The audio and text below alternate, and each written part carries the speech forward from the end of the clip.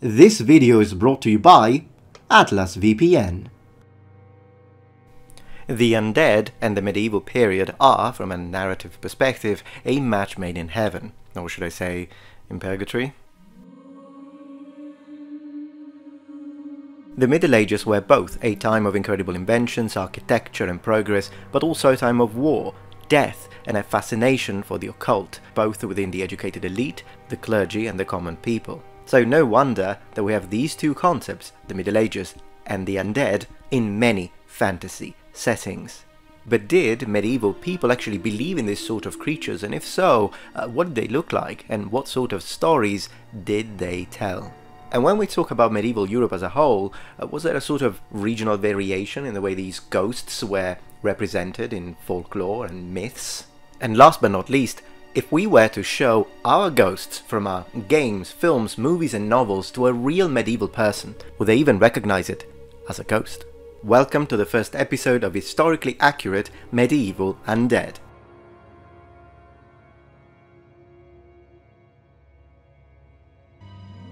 Whenever we try to understand how something was perceived and understood in period, we have to approach the subject from an unfiltered perspective. The words ghost, poltergeist, spectre, phantom may have a specific meaning in our culture in our day and age, but the same words may not even have existed, or if they did, they could have a different semantic meaning to them uh, for people of the period. In other words, terms come with a certain level of cultural, semantic baggage. Ghost stories did exist in the medieval period, but not only some of these may appear a little bizarre and not really match with our expectations, it's also important to say that the concept of a ghost story, of an apparition, does not originate in the Middle Ages. In fact, these were rather common in both the Greco and Roman world.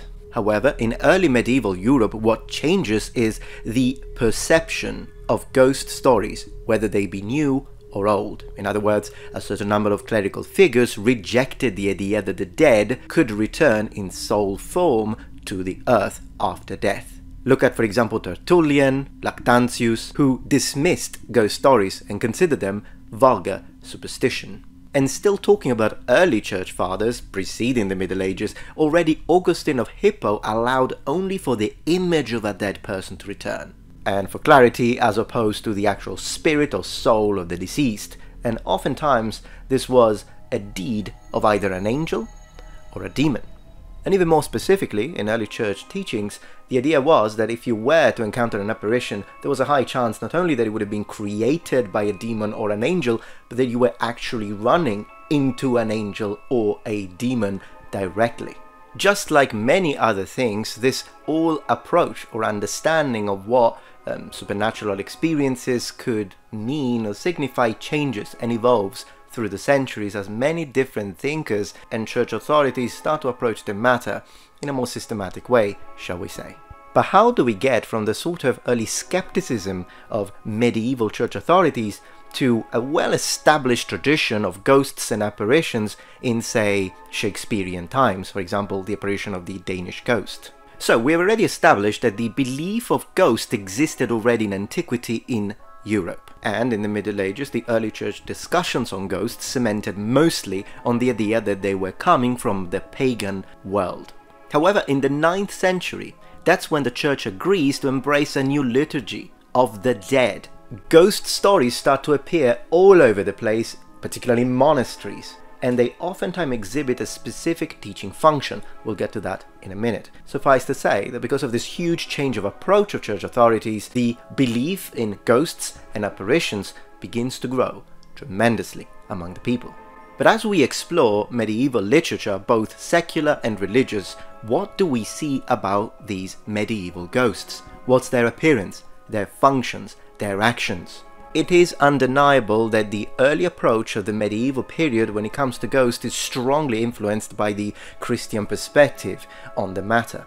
Narratives about ghosts are written in Latin and vernacular, are meant for the clergy and the laity. And even though this fixation with the paranormal, with the ghostly, starts to be criticized by some authors in the church, there is one specific monastic order that will play a pivotal role when it comes to the connection between the clergy and the people, the Cistercians. and they will become, as a monastic order, one of the main elements within the public discussion of ghosts. The narrative connected with the mendicant orders, whom had to constantly interact with many references of appearances and paranormal phenomena, will, for example, connect the idea of ghosts to cemeteries, for obvious reasons. This is where we can start to explore one of the primary functions of ghosts within medieval tales and literature, that of deductive function.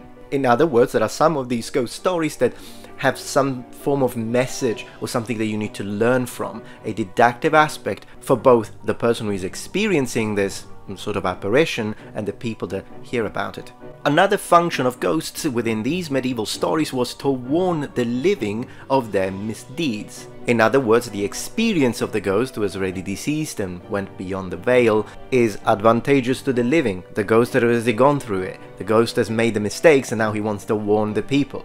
This is probably one of the main differences between the way we interpret ghost stories in our day and age, which are mostly meant to entertain, scare, and ghost stories in the medieval period, whereby sometimes they were used to teach and oftentimes had a spiritual, intellectual condition to them. As we observe, the collective imagination involving ghosts in medieval times could be considered somewhat different than ours.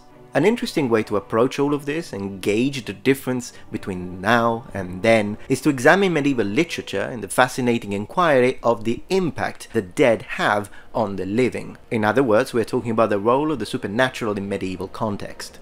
A comprehensive analysis of medieval literature regarding ghosts and apparitions also revealed a secondary function, that is, that of temptation, and of course in this case we are talking about negative, demonic, evil ghosts, whose role was to lead the person that was encountering the apparition to apostasy. It is however important to understand that considering the huge variety French, Spanish, Portuguese, Italian, English, Scandinavian, ghost stories will not all be the same. Therefore we are always present to an array of different elements of supernatural entities. Now, of course, all of this can be fascinating, intriguing, and even a little scary, but you shouldn't be only scared of ghosts, apparitions, and poltergeists. You should also be prepared towards other types of attacks, aka cyber attacks.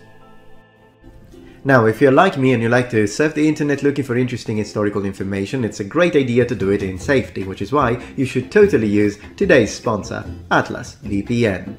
A VPN is a virtual private network that makes all of your internet traffic travel through an encrypted tunnel, and this way it protects you from spying, public Wi-Fi dangers, it hides your IP address, and online activities. Atlas VPN is a great choice because it was developed by cyber security specialists, and among other things, it gives you access to the Data Breach Monitor, which is a security feature designed to track any data breaches related to your online account, automatically scanning any leaked information. But another add-on through Atlas VPN is the fact that you can use Netflix from any countries, regardless of where you are. So let's say that you wanted to watch a show that is only available in the UK, but you live in America. No problem, just change your country through the VPN and boom, access granted.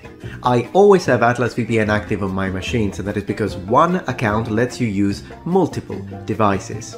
I personally really like Atlas VPN not only because it's a great choice, but also because it's really affordable, and that links to today's special offer. Get the price cut. That's $1.70 a month for 3 years plus 6 months for free. If you've been considering getting a VPN but you weren't sure about the prices, then now is the time. And don't forget to click the link in the description. That's $1.70 a month for 3 years plus 6 months for free. Keep in mind that this is a time limited offer, so be quick and click the link in the description. And big thanks to Atlas VPN for sponsoring my video.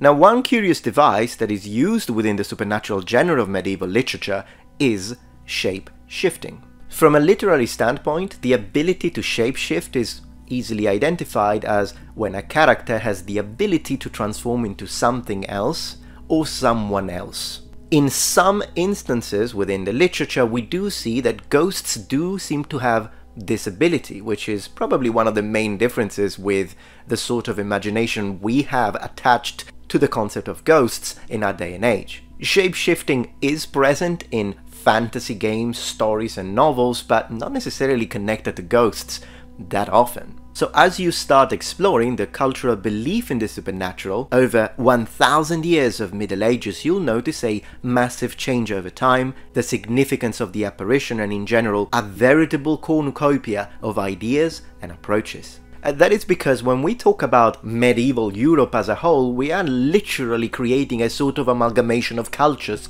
languages and backgrounds, which at the time of the medieval period, specifically in the early Middle Ages, weren't that far away from previous religious and spiritual approaches, which in the medieval period were considered to be pagan or heathen. And even though there are scholars that bring forth the idea that already by the 10th century the majority of pagan religions were completely dismembered and fully replaced by Christendom, eh, there are also scholars that do believe that in fact some of these beliefs perhaps in secrecy, were still held by the people. Therefore, even from a religious standpoint, the idea of a ghost, what it would do, how it would appear, and how it would function would be a mix between the old religion and the new religion.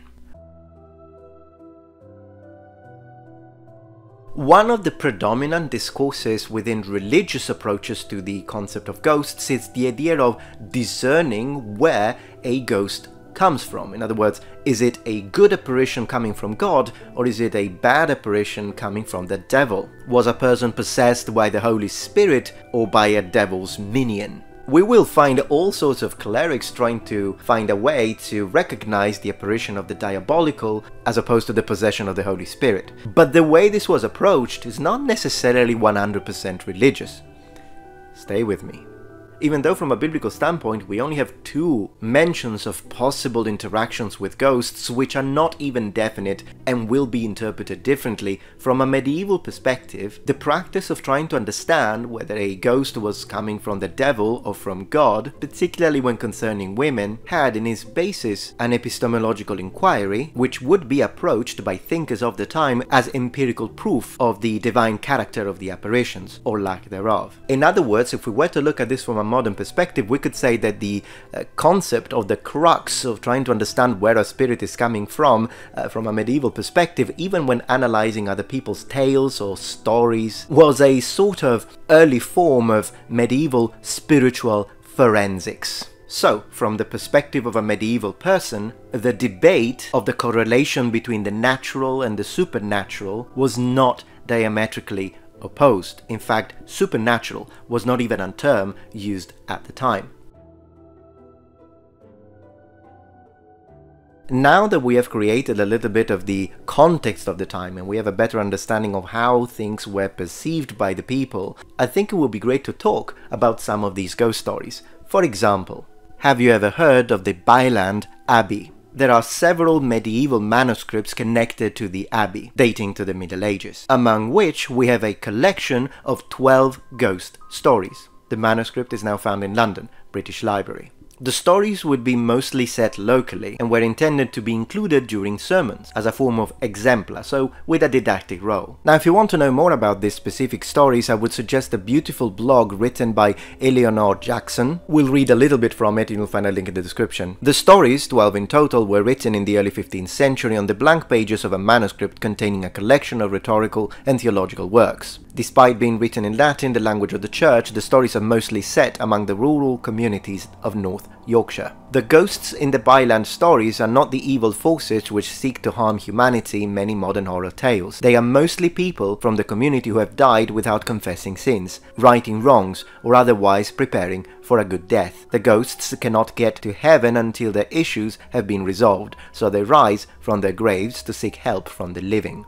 The sins in question tend to be relatively mundane. Story 9 tells us of a ghost whose crime is a matter of sixpence. In Story 6, the ghost of a canon of Newburgh Priory is tormented for stealing silver spoons. In Story 7, a hired hand is punished for overindulging his oxen, feeding them on his master's com and letting them plough the land too shallowly. The ghosts try a variety of tactics for persuading people to help. So as you can see, this idea that sometimes we see even in role-playing games where the ghost is dead, but he hasn't finished, he has an unfinished business, and so he asks the person, the player in this case, uh, to help them so that they can be put to rest, is already found in the medieval period, and probably was quite common. One of the things that this author points out in this blog is the fact that if you keep on reading these stories, you'll notice that there is an interesting characteristic when it comes to the actual appearances of these ghosts, at least in these stories. If you look at story 3, for example, the ghost doesn't speak from his vocal cords, but speaks from his bowels, which are empty and function as a form of casket, if you will. Whereas in story 5, we uh, see a woman who is carrying a ghost on top of her shoulders. What this gives us is probably one of the main differences between how ghosts are perceived today and ghosts were perceived in the medieval period. Namely, the fact that sometimes ghosts are not ethereal. They are bodily and they are physical. This, of course, is not always the time. We do have apparitions of ghosts that are instead made of a sort of spiritual matter, if you will, and, and are therefore more of an evanescent form, but ghosts that are more like living corpses do appear. Personally, when it comes to this specific collection of stories, my favorite is the one involving a ghost horse. Elder Scrolls, anyone? In this story, you have this uh, wanderer who runs into a ghostly apparition of a horse. As he tries to scare the horse away, the spirit of the horse starts to stalk him. And at one point even transforms, hence connecting back to the idea of shapeshifting, into a ball of light in general, with these stories specifically, we often have this uh, idea that as you're being attacked or oppressed by a ghost, you need to call in the name of the Lord so that then the ghost will be rebuked. And then usually ghosts, these ghosts tell you why they're doing what they're doing, what sort of help they need. But of course, it shouldn't surprise us that the story written specifically by monastic orders were in fact intended to reinforce your Christian beliefs. Still, not all ghost stories had this sort of didactic function, and there are definitely stories that were instead intended to simply scare their listeners as much as you would think in our day and age. All in all, whether they'd be connected with more ancient folklore or whether they be born with the new Christian approach to the supernatural, ghost stories were absolutely plentiful in the medieval period. In fact, in conclusion, one could say that through these exempla that we see throughout the entirety of medieval history and literature, even though many things have changed and the details will be different, perhaps we could see the overall idea of the ghost, the phantom, of the dead still remaining in the world as a form of connection between what some people believe today and what our ancestors did in the medieval time. Alright noble ones, but let me know if you like this pilot episode of this series. If you did, I'll make much more detailed and deep episodes. Perhaps we could talk about skeletons or whether people believed in vampires or what zombies and living dead actually were believed to do or be still in the medieval period. Of course, as always, if you like this video, please remember thumbs up and if you're not yet member of this community, become a noble one. Subscribe to my channel for more content from the Metatron. Don't forget to click the link in the description to take advantage of the amazing offer by Atlas VPN. Thank you very much for watching and remember, the Metatron has spread his wings. Goodbye.